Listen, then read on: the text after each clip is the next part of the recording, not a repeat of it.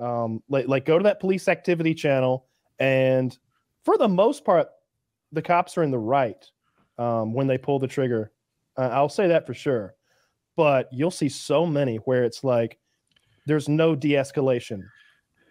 It's so easy to take steps backwards and just get out of there. Like like there's an old lady with a knife that I watched. I, I've, I've referenced it before because I've seen her die so many times. It keeps popping up on Reddit, and she's just so old and so out of it, holding this knife, and she's in the house, and he's in the garage, and he just has to take one backward step, and he's in the yard now, but he's just like, put it down, put it down, and it's like, dude, does she look like she's going to negotiate with you right now? She she thinks fucking Kennedy's the president right now. She's Right. she's got two knives and she's being wacky with them. Like you're not going to be able to negotiate.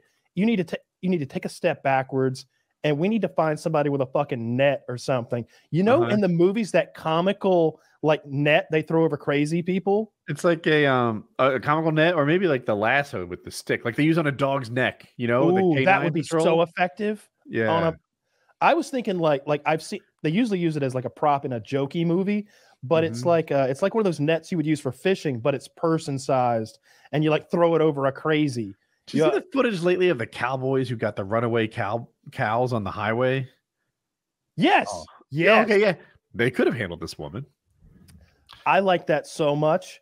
Like like like when I whenever I see a, a guy who can operate that fucking lasso, I think that's such a talent. Like I didn't know that was real life. How Oh, did they get yeah. the back legs? How did he, he's flinging them at them and like like like it's amazing.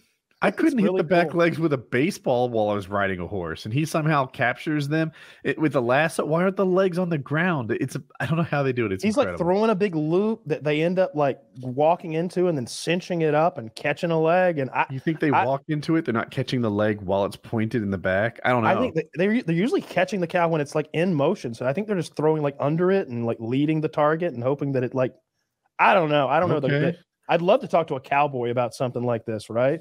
We should get I bet they're terrible at telling stories. oh, you got to find one of them storytelling cowboys. Yeah, like you that- do. That plays the guitar and everything. Ukulele. Yeah, like, like uh, I would like that. Um,